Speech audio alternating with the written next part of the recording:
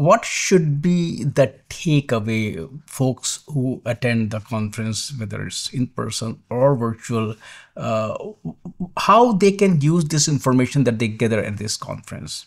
So I'm a big believer in action.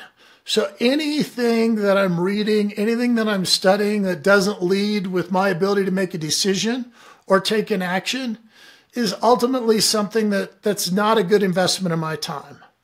So as you think through this, you know, go look for research from vendors or from institutions that make recommendation on best practices.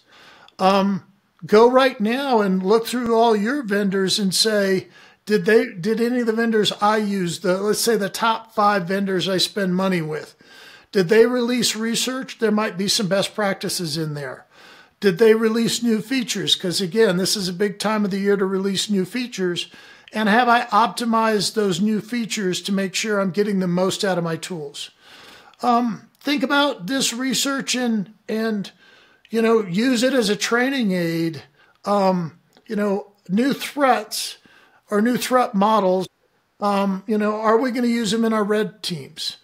Um, understanding the changes in DDoS attacks or API attacks or large language model attacks allows me to war game and make sure my security is there.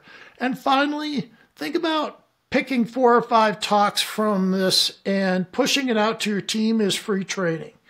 You know, we, we always think about training being, you know, costing us something.